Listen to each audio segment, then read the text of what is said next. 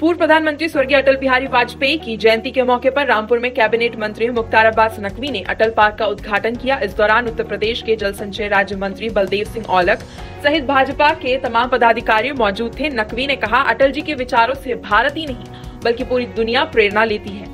जनपद रामपुर में पनवड़िया स्थित अटल पार्क का निर्माण रेडिको खेतान फैक्ट्री ने कराया है, जिसका कैबिनेट मंत्री मुख्तार अब्बास नकवी ने माल्यार्पण कर उद्घाटन किया।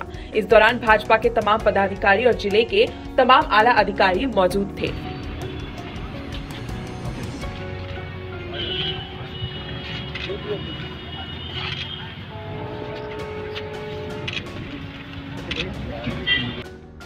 वहीं कैबिनेट मंत्री अल्पसंख्यक मुख्तार अब्बास नकवी ने मीडिया से बात करते हुए कहा, श्री अटल बिहारी वाजपेयी जी राजनीतिक क्षेत्रों से बहुत ऊपर उठ करके उनकी शख्सियत थी। आज भी न केवल भारत बल्कि पूरी दुनिया उनके विचारों से, उनके कामों से प्रेरणा लेती है। अभी कुछ दिन पहले ही अटल पार्क बना है। आज अटल जी की जयंती है। आज इस मौके पर बहुत ही प्रसन्नता का और खुशी का विषय है।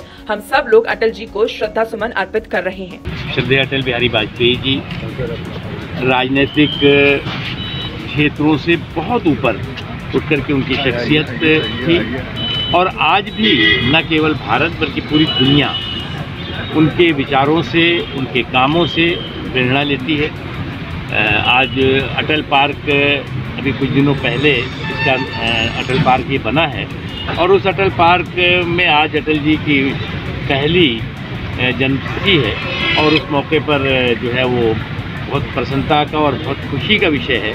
कि हम सब लोग जो है, अटल जी को श्रद्धा सुमन कर सकते न्यूज़ डेस्क आईएनएन